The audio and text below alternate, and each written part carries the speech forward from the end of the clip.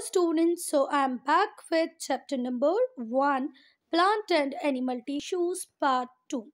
Student, in part 1 we have discussed definition of tissues, classification, meristematic, simple permanent tissues, these all we have discussed. इस इस वाले part में हमको animal tissue discuss करना है पर इसके पहले अ, जो एक्टिविटी टू और एक्टिविटी थ्री दी गई है वो बहुत ज़्यादा इंपॉर्टेंट है वो हम लोग डिस्कस करेंगे ठीक है बच्चा, हम लोगों ने पार्ट वन में डिफरेंस भी पढ़ लिया था जाइलम और फ्लोअम में, ठीक है? अब हम एक्टिविटी पे आते हैं। तो अगर आपको डिफरेंट टाइप के प्लांट टिश्यूज़ को स्टडी करना है तो कैसे करेंगे? आप लोग अपने टीचर से रिक्वेस्ट करें कि वो आपको स्लाइड्स प्रोवाइड करें बहुत सारे प्लांट टिश्यूज़ की। आप एक एक स्लाइड देखते जाए वन बाय वन उनको माइक्रोस्कोप के अंदर जब आप रखेंगे तो आपको प्रॉपर फेरन कायमा कैसा है कॉलन कायमा है, सब देखने को मिलेगा। Ask your teacher to properly focus the slide and then study it ठीक है? पेरेंट कायमा को जब आप देखोगे तो यहाँ पर लार्ज थिन वॉल दिखेंगे आपको सेल्स की, ठीक है? You will see a large vacuole आपको वैक्यूल भी बड़ा दिखेगा। Copy this diagram in your notebook और ये आपको नोटबुक में बना के देखना चाहिए।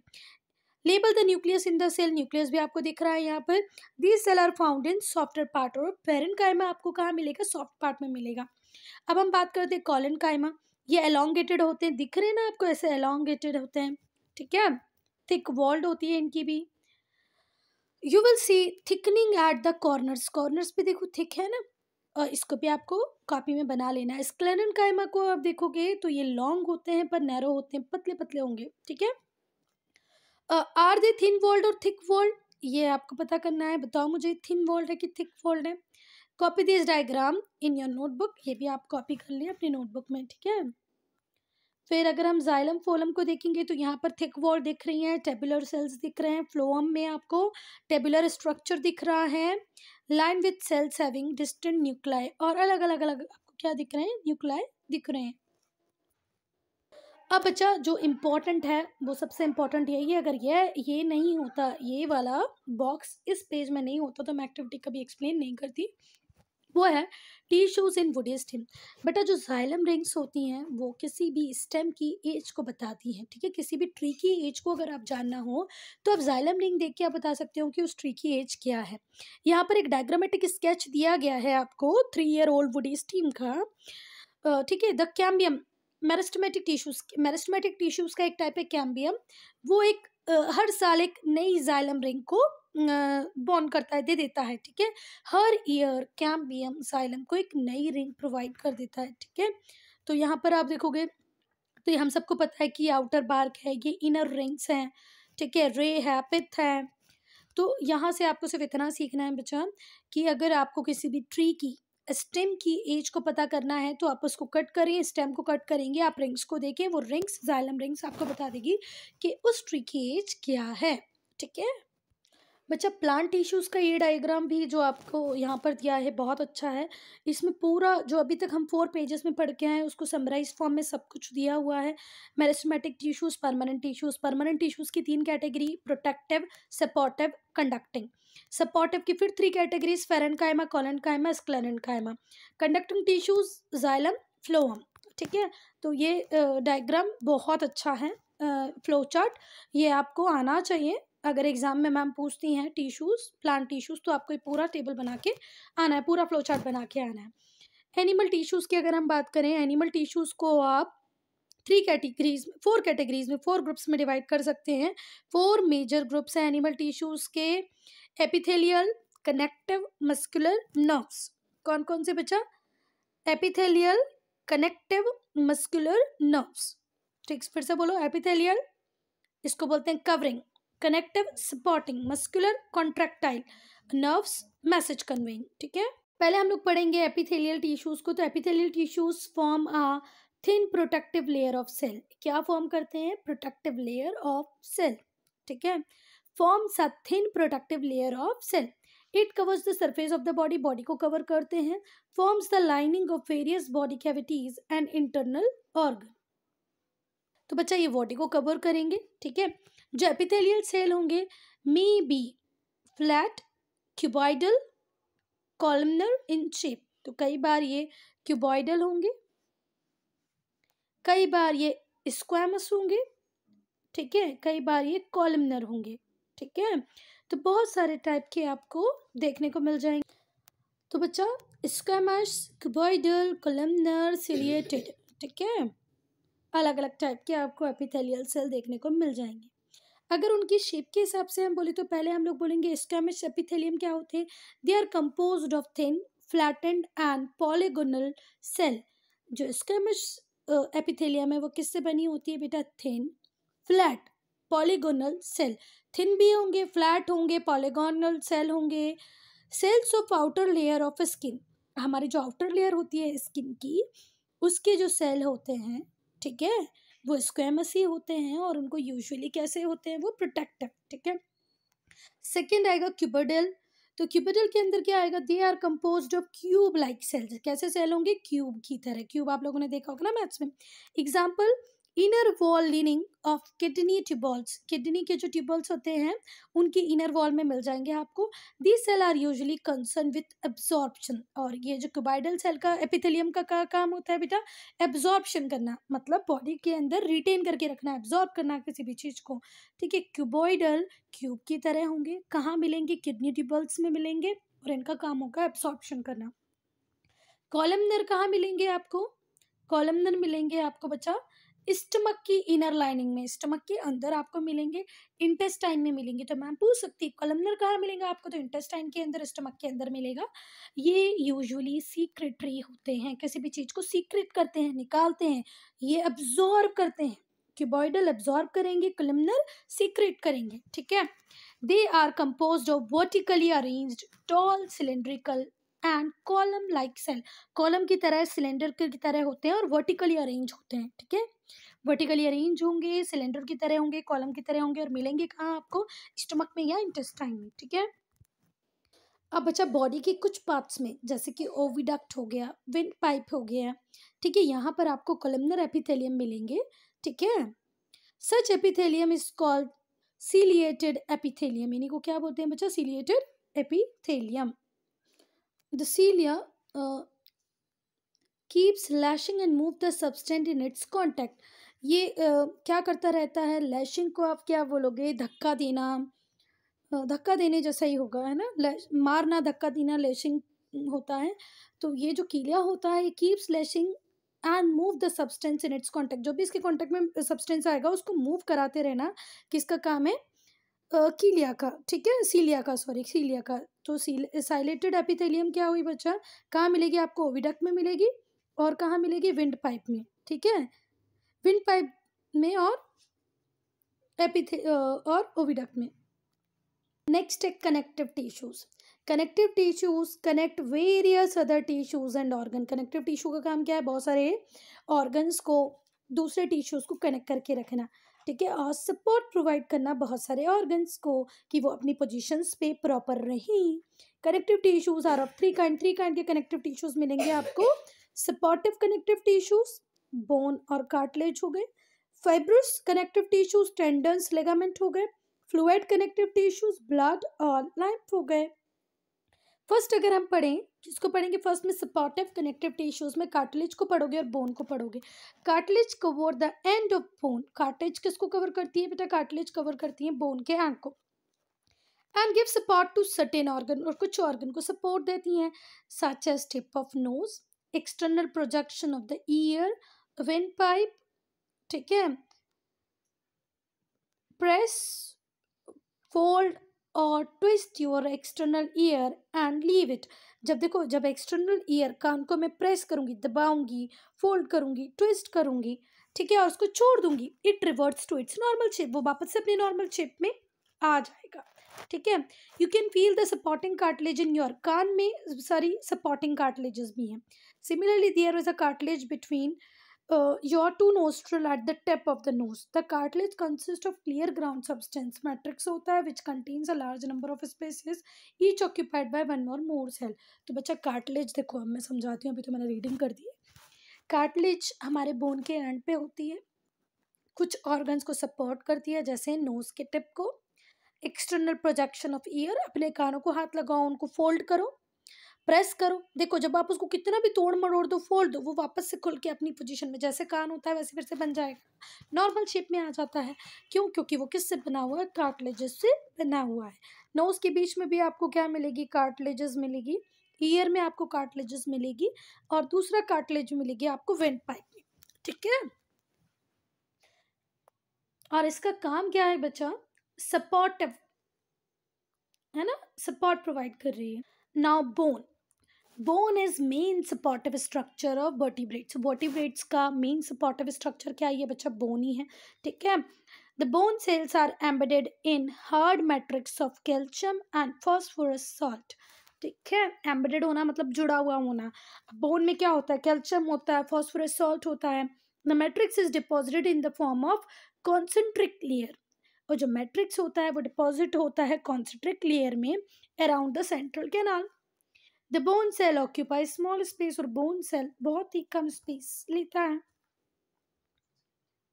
Fibrous connecting tissues fibrous connecting tissues क्या होते हैं बेटा? ये पैकिंग और बाइंडिंग का काम करते हैं ऑर्गन को पैक करने का बाइंड करने का। जैसे अगर मैं किसकी बात करूँ? पहले मैं बात करूँगी। तो फ़र्स्ट है बच्चा areolar tissue binds our skin to underlying tissues बच्चा जो हमारी अपर लेयर होती है स्किन की, उसको अंदर कहीं ना कहीं से तो कनेक्टिविटी मिलती होगी। तो वो कनेक्टिविटी देने का काम कौन करते हैं? एरियोलर टिश्यूज ठीक है? एडिपोज टिश्यूज का काम क्या होता है? फिल्ड विथ फैट ग्लोबियस ठीक है? इनके अंदर क्या मिलेगा बेटा तो बच्चा, जो एडिपोज टिश्यूज हैं, उनके अंदर क्या होंगे? Contain cells filled with fat globules ठीक है? अब देखो क्या होता है बेटा? कि मैंने ये आपका हैंड था, यहाँ पर ज़ोर से आपके हाथ में एक स्केल मारा। बहुत ज़ोर का एक स्केल मारा, ठीक है? तो ये जो एडिपोज टिश्यूज़ होते हैं, उनका काम क्या होता है पता है? कि ये जो मैंने ज़ोर का जो आपको झटका दिया है, जो मारा है, वो इंटरनल बॉडी को थोड़ा बहुत कम इफ़ेक्ट करे। इसीलिए एडिपोज टिश्यूज़ होते हैं बीच में। ये जो इनके अंदर सेल्स होते हैं फिल्ड विथ फ्लैट ग्लोब्यूल्स ठीक है? इनके अंदर फैट ग्लोबल्स होंगे, जो शॉक अब्जॉर्बिंग का काम करेंगे, हमारे इंटरनल ऑर्गन को सेफ़ रखेंगे, ठीक है? फिर हम पढ़ेंगे tendons. Tendons connect muscles to bones. Tendons का काम क्या होता है? मसल को बोन से कनेक्ट करना। टेंडेंस का काम क्या है बेटा? मसल को बोन से कनेक्ट करना, वो भी कहाँ पर? जॉइंट पे, ठीक है? Tendons connect muscles to bones at joints. Joints पे कौन कनेक्ट करेगा बेटा? मसल। किससे कनेक्ट करेगी? बोन्स पे। फिर आएगा ligament ligament connect a bone to another bone ligament का काम है बोन को बोन से जोड़ना और टेंडन का काम है मसल को बोन से जोड़ना ध्यान रखना लिगामेंट और टेंडन में क्या डिफरेंस है ligament bone to bone tendon muscle to bone do remember both the things okay फिर आ, देखो आ, यहाँ पर हमने देखा काफ मसल है। ये टेंडन हुआ। ये बोन है, ये बोन है। ये बोन को ये बोन से जोड़ रहा है लिगामेंट ठीक है? मसल से बोन को जोड़ेगा टेंडन ध्यान रखना इस बात को muscle to bone tendon bone to bone ligament next है fluid connective tissues fluid connective tissues में क्या आएँगे? ब्लड एंड लाइम ठीक है? Red blood cell platelets white blood cells ये आप लोगों ने पहले प्रीवियस क्लासेस में पढ़े होंगे। ब्लड अब ब्लड में क्या होता है? Is composed both liquid and cellular part blood के अंदर दोनों चीज़ें होती है, बेटा। लिक्विड भी होता है और सेल्यूलर पार्ट भी होता है। आप लोगों ने सबने चाय पी होगी ना? चाय को हम पीने के पहले छन्नी से फ़िल्टर करते हैं, छान लेते हैं। ऐसे अगर हम ब्लड को भी किसी चीज़ से फ़िल्टर करें, छान ले बच्चा तो उसके अंदर भी आपको सेल्स भी मिलेंगे लिक्विड भी मिलेगा। लिक्विड पार्ट को हम बोलते हैं प्लाज्मा सेल्यूलर पार्ट को हम बोलते हैं R B C W B C and platelet liquid part of blood is called plasma ठीक है चाय हमने छानी बच्चा तो जो, छन्नी के अंदर रह गई वो थी चाय पत्ती और नीचे निकल गई। चाय जिसको हमको पीना है तो लिक्विड पार्ट हो गया प्लाज्मा और सेल्यूलर पार्ट में क्या आएगा? Red blood cell white blood cell platelets ठीक है? अब हम पढ़ेंगे lymph lymph is the fluid surrounding the body cell body cell के बाहर आपको क्या मिलेगा? लिम्फ मिलेगा। It is essentially the plasma with some leukocytes और वाइट ब्लड सेल हाँ बच्चा, ये थोड़ा सा ध्यान रखना। ल्यूकोसाइटिस किसको बोलते हैं? वाइट ब्लड सेल को। Leukocytes white blood cell leukocytes white blood cell lymph एक फ्लूड है जो बॉडी सेल को सराउंड करता है। It is essentially the plasma with some leukocytes leukocytes को ये क्या बोलते हैं? White blood cell that have oozed out of the blood capillaries it lacks red blood cell and blood platelet इसके अंदर ब्लड प्लेटिलेट भी नहीं होता रेड ब्लड सेल भी नहीं होते, सिर्फ़ ल्यूकोसाइट्स होंगे जिनको हम बोलते हैं वाइट ब्लड सेल ठीक है? Fluid connective tissues is mainly concerned with the transportation of substance like glucose, ammonia acid, oxygen. अब क्या काम है बेटा फ्लूड कनेक्टिव टिश्यूज़ का फ्लूड कनेक्टिव टिश्यूज़ का काम यही है कि आपकी बॉडी के अंदर प्रॉपर ग्लूकोज ट्रेवल करता रहे अमोनिया एसिड ट्रेवल करती रहे ऑक्सीजन इनके ट्रांसपोर्टेशन में ही फ्लूड कनेक्टिव टिश्यूज़ का काम होता है जिसमें कि दो पार्ट हम लोगों ने पढ़े एक पढ़ा लिम्फ जिसके अंदर हमने वाइट ब्लड सेल भी पढ़ा और हमने ब्लड ब्लड में तो होता ही है बेटा red blood cell white blood और platelets muscular tissues muscular tissues form the muscles of the body muscular tissues muscles बनाते हैं। Muscles can contract and relax आपने देखा होगा मसल्स कॉन्ट्रैक्ट भी करती हैं रिलैक्स भी करती हैं। जैसे आपका हाथ ऐसे ये आपकी एल्बो है, ये आपके आर्म्स है और ये आपका हैंड है। यहाँ पर आपके ऐसे जाएँगे। बेटा तो जब आप ऐसे करती हो तो देखो ये कॉन्ट्रैक्ट कर रहा है। ठीक है? फिर आपका हैंड ऐसे हो जाए। ये आपके आर्म्स है। ये आपकी एल्बो है और ये आपका हैंड है। तो यहाँ देखो एक्सपांड हो गया, यहाँ एक्सपांड हो रहा है और यहाँ पर, यहाँ जाते साइड कॉन्ट्रैक्ट हो रहा है। आपको आपके फेस को छूना है तो क्या हुआ? कॉन्ट्रैक्शन आपको किसी और दूसरी जगह से कोई सामान लेना है तो क्या होगा expansion they help the body in all movements body की मूवमेंट में लोकोमेशन में हेल्प करते हैं मस्कुलर टिश्यूज लोकोमेशन मतलब एक प्लेस से दूसरी प्लेस जाना। मूवमेंट मतलब वहीं खड़े खड़े थोड़ा सा हिल जाना भूल जाना। ठीक है, चलो अच्छा। मूवमेंट एंड लोकोमेशन दोनों गलत भी मैंने बोला हो तो। मूवमेंट मतलब यहाँ से वहाँ और लोकोमेशन भी वहाँ ठीक है। Three distinct kinds of muscles are striated skeletal striped or voluntary, unstriated, smooth unstriped involuntary, cardiac heart muscles तो तीन पढ़ेंगे हम STRIDE striated unstriated cardiac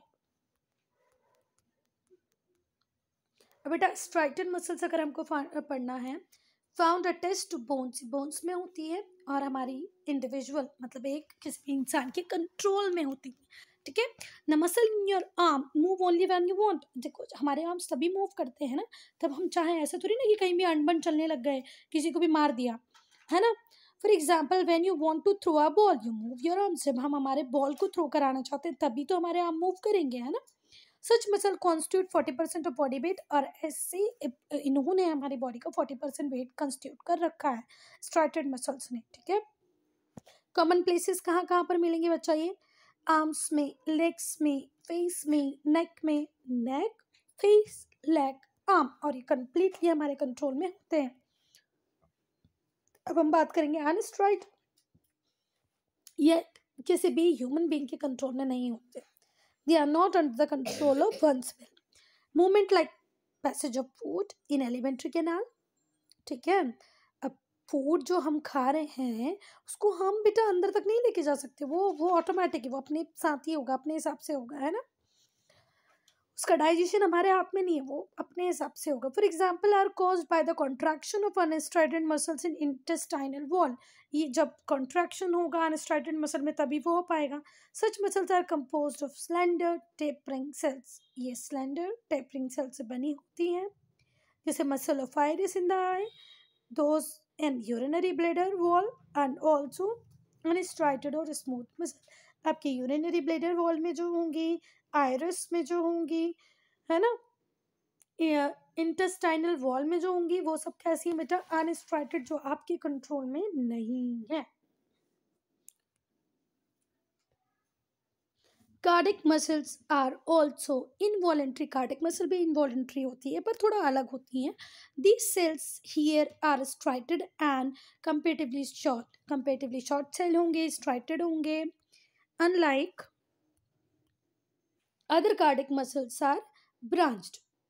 These muscles are found only in the wall of heart और जो cardiac muscle है बच्चा, सिर्फ़ और सिर्फ़ तुमको हार्ट में ही मिलने वाली है। They can contract without outside stimulation and never get tired in personal life time जब तक एक व्यक्ति ज़िंदा है, जब तक ये कभी भी थकती नहीं है कंटिन्यूस काम करती रहती हैं और किसी भी आउटसाइड स्टिमुलेशन का इन पर कोई इफ़ेक्ट नहीं पड़ता। इनको पता है कि हमको अपना काम करते रहना है, ये अपना काम करती रहती हैं। हम हम कभी बोलेंगे कि यार, चलो थोड़ी देर रेस्ट कर लो हार्ट तो हार्ट रेस्ट नहीं करेगा और हम चाहें कि हाथ हमारा कंटिन्यू काम करते जाएँ। हमारी इच्छा से एक एज के बाद भी तो भी ऐसा नहीं होगा। Next is nerve nervous nerves tissues nerve tissues constitute the nerve system nerve tissues क्या करते हैं? बच्चा नर्व सिस्टम बनाते हैं। This tissues made up of elongated इनके अंदर एलोंगेटेड सेल होते हैं। इनको क्या बोलते हैं? Neurons elongated cells are called neuron. जो नर्व टिश्यू है, वो बना होता है elongated सेल से, जिसको हम बोलते हैं न्यूरॉन ठीक है वन पॉइंट वन टू में दिखाया है ये है न्यूरॉन ठीक है नर्व सेल न्यूरॉन दिख रहा है आपको? डेंड्रंस हैं डायरेक्शन ऑफ़ इम्पल्स है काइटोन है साइटोन है न्यूक्लियस है. Each nerve cell consist of cell body her nerve cell में एक सेल बॉडी होगी, जिसको बोलेंगे साइटोन कंटेनिंग द न्यूक्लियस एक न्यूक्लियस दिखेगा one or more elongated hair like extension जिनको बोलोगे आप dendrites dendrons dendrons one of this axon may be very long sometimes as long as one metre कई बार ये बहुत लंबा होता है, एक मीटर तक का हो जाता है axon axon bundles together form न अब हम लोग इसमें देख लें न्यूक्लियस आपको दिख रहा है. ठीक है, ये सेल बॉडी जिसको बोलेंगे साइटोन ये रहे हमारे डेंड्रंस और क्या बोला था? जो एक मीटर तक एग्जन ये कई बार एक मीटर तक लंबा हो सकता है, ठीक है? तो फिर बच्चा नर्व टिश्यूज़ के अंदर हम लोगों ने देखा कि जो एलोंगेटेड सेल होंगे, उनको न्यूरॉन्स बोलेंगे। हर नर्व सेल में साइटॉन होगा, डेंड्राइटिस होंगे डेंड्रंस होंगे एक्जन होगा। एक्जन बहुत लंबा भी हो सकता है। तो बच्चा ये रहा हमारा नर्व और नर्व में ये रहे एग्जन्स ठीक है? जो कि कनेक्टिव टिश्यूज़ ये हमारी ब्लड की वेसल्स हैं, ठीक है? और ये ये सारे एग्जोन है, दिख रहे होंगे ना ये एग्जोन ठीक है? चलो तो बेटा जैसे हमने प्लांट टिश्यू का पूरा डायग्राम पढ़ा था, यहाँ पर हम एनिमल टिश्यूज़ में एक बार रिविजन कर लेते हैं। एनिमल टिश्यूज़ कितने टाइप के होंगे बच्चा? फोर टाइप के। तो फोर टाइप में क्या क्या आएगा epithelial connecting muscular nerve epithelial के अंदर फिर हमने पढ़े four squamous cuboidal columnar ciliated muscular के अंदर थ्री पढ़े striated unstriated cardiac card cardiac सिर्फ़ हार्ट में हार्ट में मिलेंगे, ठीक है? फिर नर्व्स के अंदर सिर्फ़ आप क्या पढ़ते हो? न्यूरॉन्स फिर कनेक्टिव टिश्यूज के अंदर हम पढ़ेंगे थ्री टाइप वो होगा फिब्रस सपोर्टिव फ्लूड फ्लूड के अंदर ब्लड लिम सपोर्टिव के अंदर बॉन कार्टलेज और फिब्रस के अंदर areolar and adipose. So student I am ending this video here only. If you any doubt, any problem, write in comment section. Activity four बहुत easy है, जो आपको खुद से कर लेनी है, आपकी मैम की हेल्प से, ठीक है?